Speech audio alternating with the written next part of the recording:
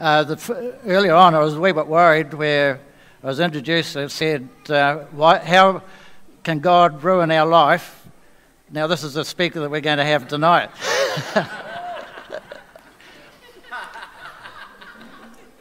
but, but it is a very important theme, isn't it? Why would God do something like that? Yeah, we've sung about God being the God of the impossible, and He is. And if we had folk uh, share your testimony, I'm sure there are many examples here tonight of impossible situations to us that God has worked in. But there are things that come our way that sometimes are completely unexpected. And as we heard in that song before, sometimes we ask that question, Lord, where are you? And some of the reasons are like the one that was portrayed there.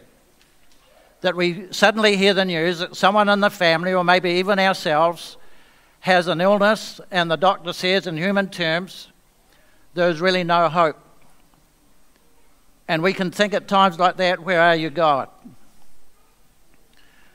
And sometimes it's with our job that we're happy there, and the boss says, Come into my office I've something to tell you. The firm's going through a difficult time right now, and we're sorry we're going to have to put you off. And we can ask ourselves, Where are you, God? And sometimes there are things on even a, a bigger scale. Uh, Lois and I were down in uh, Darfield near Christchurch, which is the epicenter of that first earthquake, 7.1. Same as Haiti, and I think I'm right when I say over in Haiti there are about 300,000 uh, people who were killed. In Darfield, that time, there are none. And so he said, Lord, thank you, that's a real miracle. A strong earthquake like that, and not one person is, is killed. And then a few months later, we had the second one in Christchurch.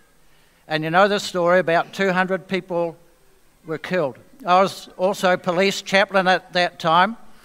And so, one of the things that I did right after the earthquake, they gathered all of the people that thought they had lost someone. And it was in a school auditorium where seated about 800 people. And they're all waiting there for news that they pretty much knew would be bad. So I was sitting there. Usually, when you go to a funeral or something, they're what we call prime grievers, those who are the family, and then others come to support them. In this case, everyone was a prime griever. And when someone was sitting next to us, I didn't. Yeah, I had to think carefully what to say. You can't say, How was your day? because you knew their day wasn't very good. And the Prime Minister was there at one of these, and he said, I was talking to a man who was here today, the other day, he was going off to work. His family was there, his wife and his business. By the end of the day, his wife had been killed in the earthquake. His business had been wiped out and his home wiped out. And you can imagine people at times like that saying, Where is God in this?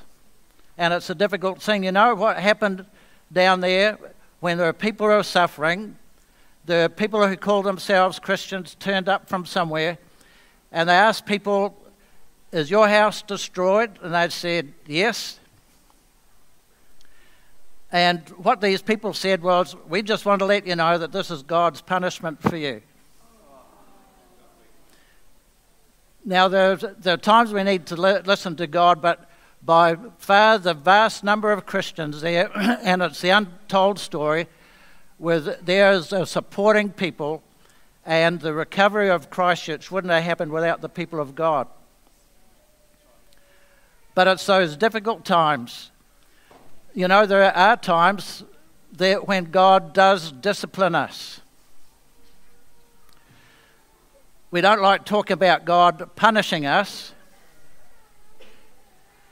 about him disciplining us. But when I was a kid, it was often a bit hard to work out the difference between discipline and punishment. And sometimes anyone outside the family of God who is working against the principles of God can count on things getting difficult and hard at times. And also for people who are in God's family but not walking with Him, there are times He's going to get our attention. And you say, Why is God ruining my life? He does it because He, he loves us. And there's a passage that speaks of the way that he disciplines us in Hebrews chapter 12, where it says, Have you forgotten that word of encouragement uh, that addresses you as sons? My sons, do not make light of the Lord's discipline, and do not lose heart when he rebukes you. Because the Lord's discipline those he loves, and he punishes everyone he accepts as sons, and we could put in their daughters too. Endures hardship as discipline. God is treating you as sons and daughters, for what son is not disciplined by his father? So there are times that God does discipline us. And when we're walking outside of his guidance and his direction, we can count on him on getting our attention. And sometimes it is through sickness, and sometimes it is with losing our job or something like that. But He still loves us and He cares, uh, cares for us. You know, in the Old Testament, you can read uh, in the book of Judges, for example, of the people of God when they walked with Him, there was peace and there's prosperity, and then it uh, tells about times when they worshipped other gods, they forgot about God, they worked against Him, and that covering of protection was lifted from them. And then they came back to God and had that blessing, and it can happen to us as individuals. So, does God discipline us? Yes, He does. And He does it not because He hates us, but because He loves us and cares for us, just as uh, those of us who are parents here discipline our children. It's not to harm them, but to help them. So there are times when God does uh, discipline us.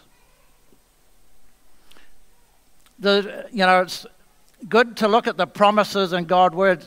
There are thousands and thousands of promises there. We used to have a little promise box. I don't know if maybe it's just the old folks had it. Little promises that were rolled up, and you pulled up one, and there was your encouragement for the day. There's one promise that I don't think was in that box, and it was this from John 16:33, "In this world you will have trouble." It's not all the verse that says, "But I have overcome the world." So even though we are people who follow the Lord, we're not disobeying Him. We're seeking to walk with Him. We're not immune to trouble as well.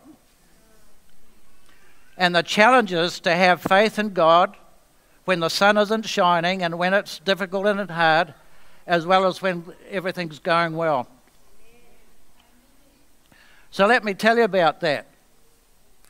He also says that he does it so that our faith will be strengthened. Look at 1 Peter 1, verses 6 and 7.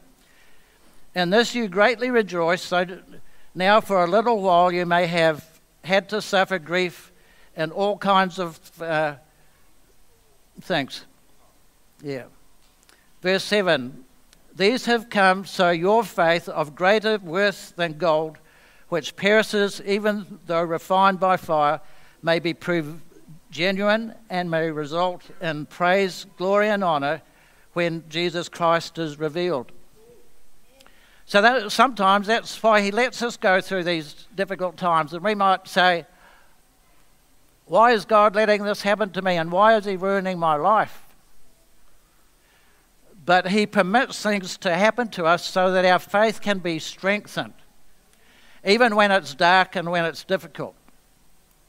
One of the uh, passages of Scripture that uh, Lois and I have uh, shared around the country, or mainly me, but Lois has heard it so many times that she could share it too, is from Psalm 134. It says, Praise the Lord, all you servants of the Lord who minister by night in the house of the Lord.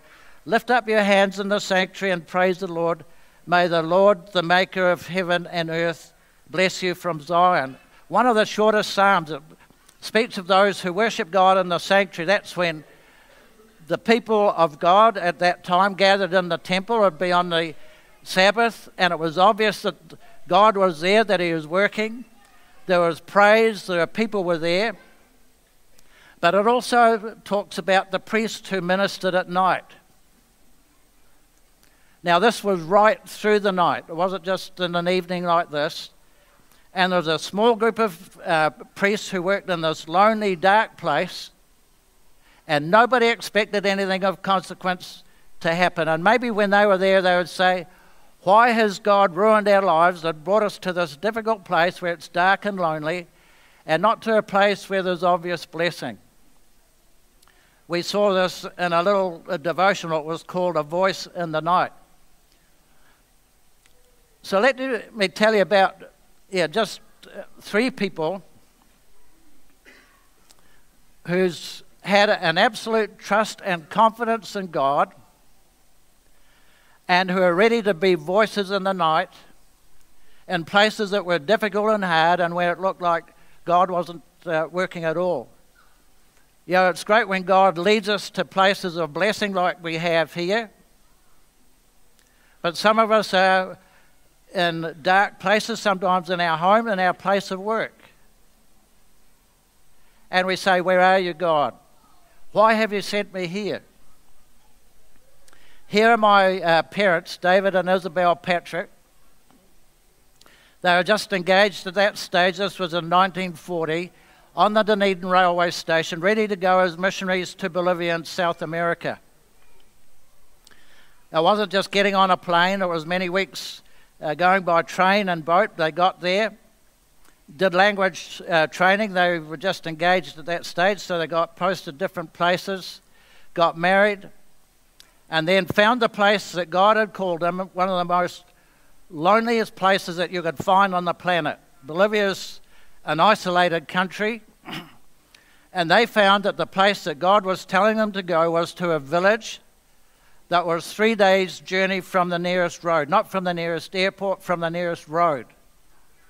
And they got there by horse and donkey, lived in a mud hut. While they were there, they were expecting uh, the birth of twins. They went to the city of Oruro, which is a barren mining town, 12,000 uh, feet high in the Andes. And there these little girls were born, but because of the thinness of the atmosphere, lack of oxygen, and the lack of medical help, they died after 10 days. So here are these people commi- uh, completely committed to the Savior and working for Him in this country there, and this happened. I don't think I ever heard my parents ever question God at all.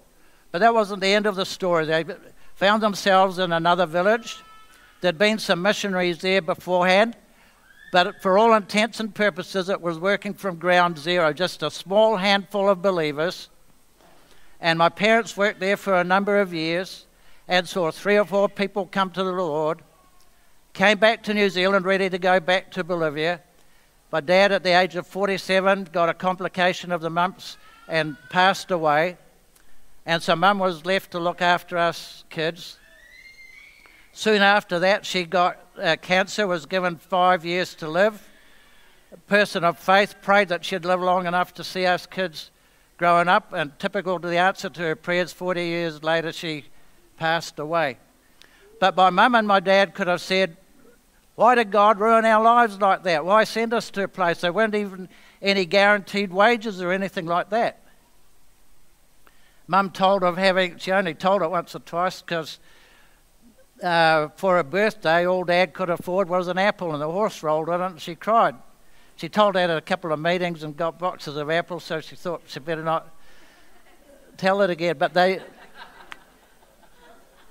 they never complained and were never lacked anything, and they could have said, "Why has God ruined our lives like that?" But they were there because that's where God had called them, and it was difficult and hard losing uh, some twins, you couldn't Skype or phone or anything like that, no other missionaries around, and yet they honoured God. I'll tell you what happened.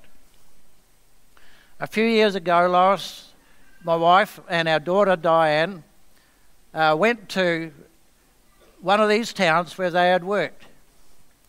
And we found this uh, lovely uh, believer who had known my parents. We were only there for one day.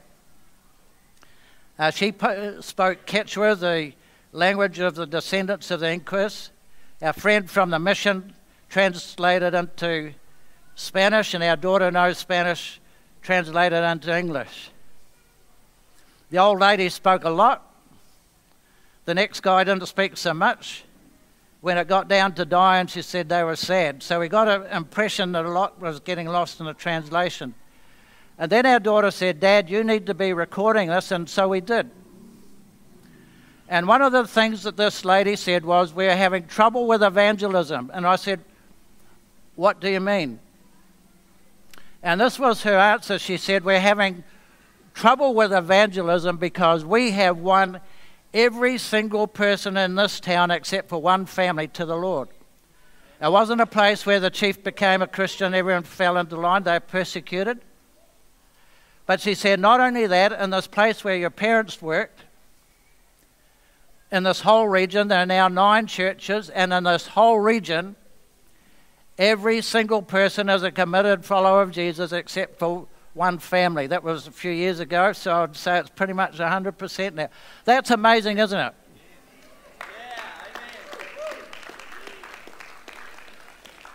As I said, I never heard my parents ever once say, God, why did you send us to this place? Why did our twins die? Why didn't we see a whole big revival there? But they knew where God wanted them to be and had that confidence that that's where He wanted them to be. Here's another example. This is uh, a young uh, lady called Rosalie McGeorge. She came from Dunedin in the 1880s and she was a 26 year old teacher down in Dunedin. When I read the accounts, it said uh, she was uh, an active, committed person and amazingly beautiful. I thought I'd better do some research about that, and I found this, this picture. So here was this vibrant, young 26 year old, felt that God was calling her to be a missionary to East Bengal. We didn't have any missionaries at all no mission organisation. She was meant to have someone else going out with her for whatever reason they pulled out. And so she said, I'm still going. So when she was leaving, her minister at the time, it was Alfred North, and this is what he said. He said, Rosalie, when you go out to East Bengal, uh, this is going to be a great adventure. You know, when you get out there, there's going to be people are going to welcome your message. And besides that, the climate's a lot better than in Dunedin. That's not what he said at all. This is what he said. He said, The work which lies before you is exceptionally hard and exhausting. The constant excitement and high degree of pity, compassion, and anguish of heart on account of the condition of those amongst whom you will be called to toil will tax and drain your nervous energy. You will be exposed, as all Christian workers have been, to disappointments, the sickness of heart which comes from hope deferred, and you will have to deal with a measure of ignorance regarding spiritual things. And she went. What he was saying was, it's going to be difficult and it's going to be hard. She went out there, did language training, found herself in a a village where she was the first uh, missionary, and a lot of real challenges. You know, she was described as a sensitive nature, refined and carefully nurtured, in the words of another age, a gentlewoman. You know those programs you see on TV and people in big houses and they got little cups of tea and everything and they got nice dresses and everything? That's the kind of background that she came from. If she was on a farm with a Swanndri and gumboots, that wasn't her at all. But this is where God called her. Well, after I think it was about four years, in uh, 1931, she went to the doctor for a routine uh, inspection and found that she had uh, typhoid, I think it was, started her way back to New Zealand And at the age of 31, after five years out on the field, she passed away. And I don't think it would, uh, would have happened, but as she was lying on that bed there, she would say, God, why have you ruined my life? She could, should have, uh, could have said this. I don't think for one moment she, she did, but she could have. Why have you ruined my life? I've left everything at home, come out here, and just getting started, and then I'm sick. And maybe the parents and other Christians have said, Where is God and what, he, what is He doing? On, from our point of view, it looks a, a complete time of disaster. But do you think that God would mock someone like that with that devotion and commitment and courage? Not at all, and I'll tell you why. In 1970, and I'm not sure what the uh, figures are for today, New Zealand had more missionaries per head of population than any other country in the world. At one stage, it was one for every 2,000. Not every 2,000 people in church, but every 2,000 in the country. Rosalie McGeorge was the first one that went from any of our Baptist churches. But those who've done research have said she's probably the first woman from any church in New Zealand that went to share the gospel with someone in another country. A couple of accounts have said she could have been the first person, period, from any church in New Zealand. I think there might have been a couple of others. But the point is this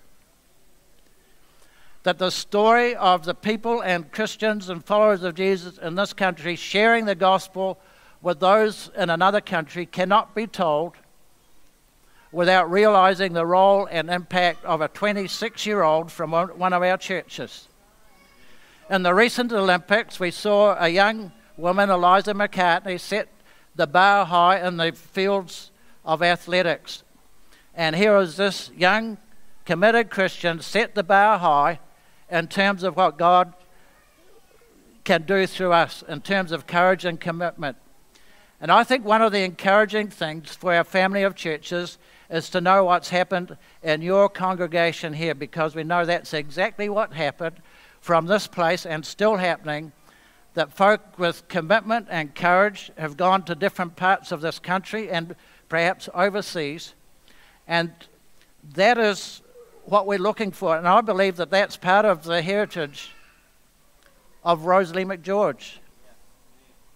And we say, why did God allow something like this to ruin this lovely life? He knew what was happening and working his purposes out. One of the passages of Scripture I like is Acts 27. It's a long passage that sort of speaks uh, it's a maritime scene when Paul was making his way to Rome, and he knew that this was what God wanted him to do. But then a storm came up and threatened the whole thing. And when you read the passage of, of Scripture, uh, you can just about put yourself on board that ship. You can sense the blackness of the night and we look up and see what looks like snow capped mountains, except they're moving, and find that they're waves that are crashing over the ship. We can hear the wind shrieking through the, the rigging and tearing it to bits. We can hear the splintering of the timbers of the mast and the, the decking, and the cries of frightened people. And in the midst of it, as the Apostle Paul has absolute confidence saying that God has assured me, and in his case, including an angel, that we will get to the destination. It also says in verse 9 and chapter 27 of Acts that amidst all of this, that they threw four anchors overboard and prayed for the day to come.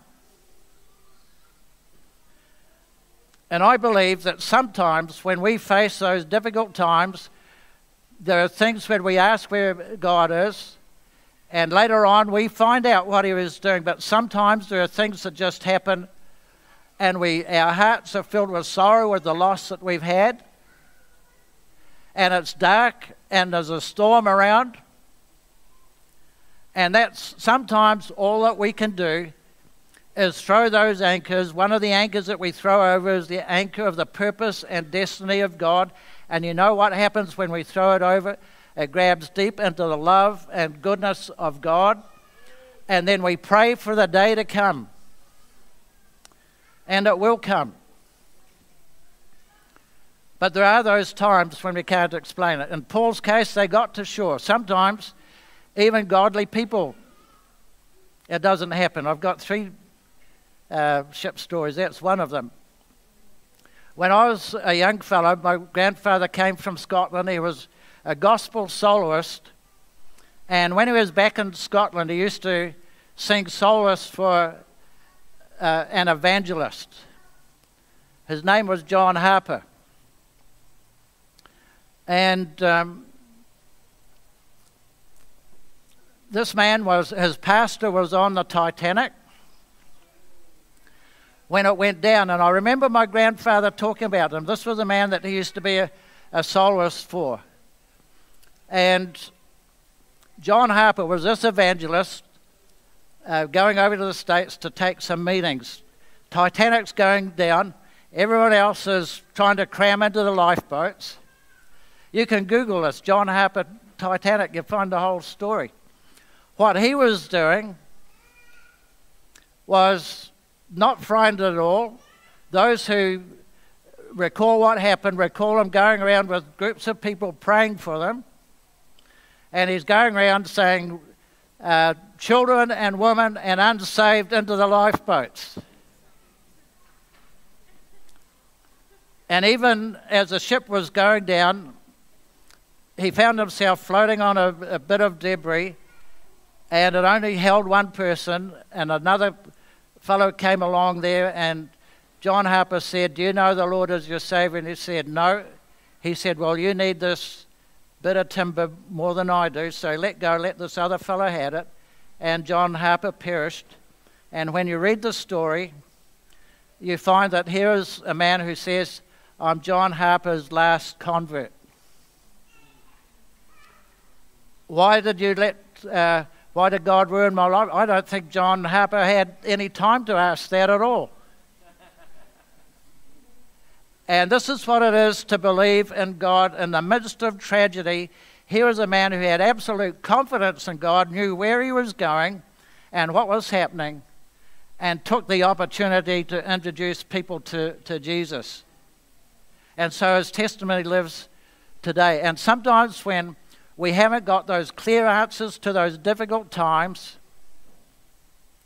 then we do throw that anchor overboard and pray for the day to come. There was another man, you've probably heard it, there's a, a well known old uh, hymn where it says, When peace like a river. This man, Horatio Spafford, was a prominent lawyer in Chicago.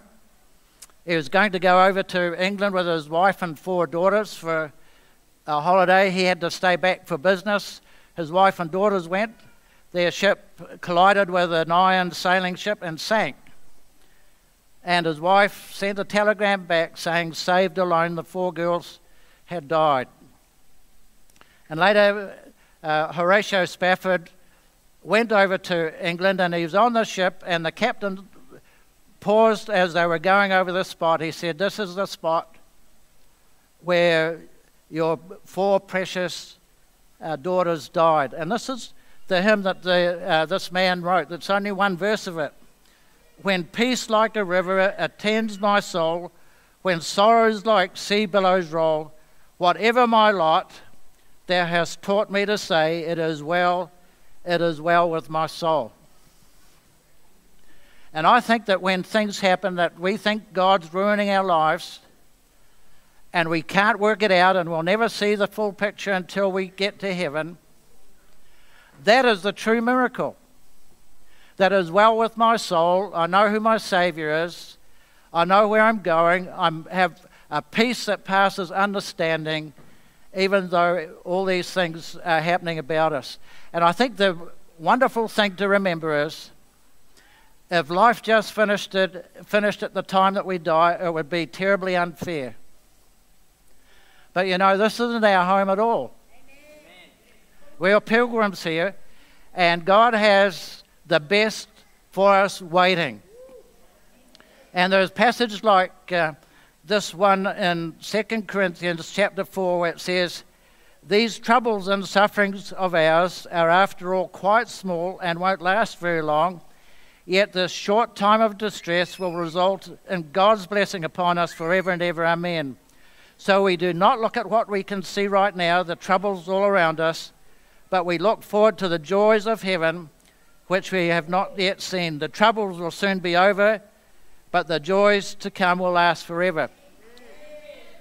When it's talking about these small troubles, these were people who were Christians and were coated in tar and then set alight to light the streets. It wasn't small at all.